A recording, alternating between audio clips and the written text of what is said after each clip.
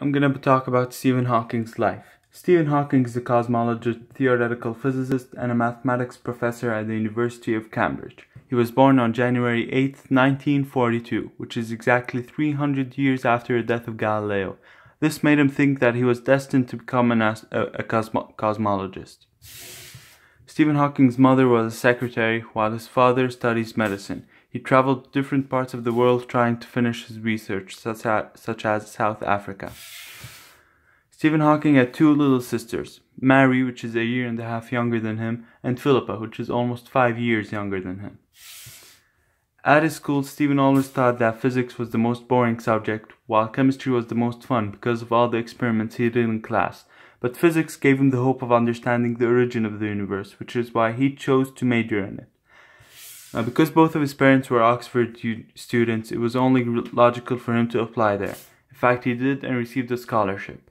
But the first two years he spent there were rather lonely because he was younger than everyone else and most of the people in his class had already finished their military service. So he decided to join the Boat Club, where he met new people and created lots of new friendships.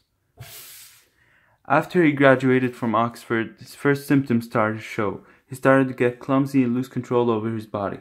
The doctors at that time didn't give him much hope, but Jane but then he met Jane. Jane gave him something to live for.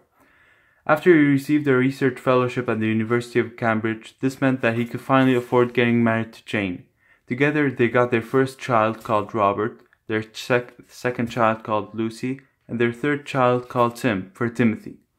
Stephen Hawking's condition got much worse, which made him spend more time at the hospital. Meanwhile, Jane met a guy called Jonathan at the church. Over time, their relationship grew stronger, and which made Stephen Hawking very unhappy about it, and eventually caused both of them to get a divorce. Stephen Hawking then moved to a new apartment with a nurse called Elaine.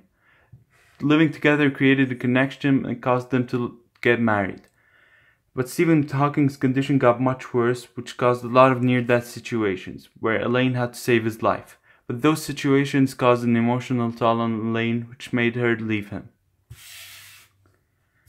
The media highly contributed on shedding the light on his book and the scientific breakthroughs that he has done in his life. Every time Stephen Hawking sent a copy of his book to his publisher, his publisher would make Stephen write it again but simpler so that a non-scientist person would still understand. This was the reason why this book, A Brief History of Time, was the most successful book he ever created. Stephen Hawking once said, and I quote, that I believe that disabled people should concentrate on things that their handicap doesn't prevent them from doing and not regret those they can do. In my case, I have managed to do most, thing, most things I wanted. In fact, Stephen Hawking did lots of things in his life.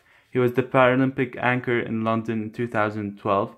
He visited China three times, Japan six times, and Russia seven times. He has been to every continent on Earth except Australia. He received a special honor from Queen Elizabeth II, and he met every and he met presidents of South Korea, United States, China, India, and Ireland.